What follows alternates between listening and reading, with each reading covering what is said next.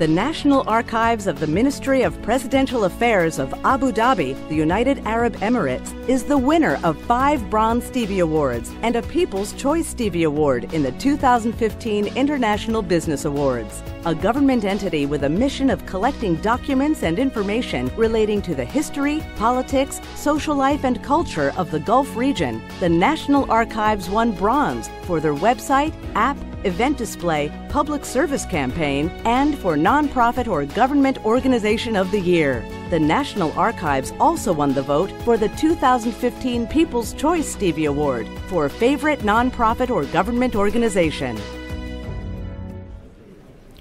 Thank you. Good evening, everyone.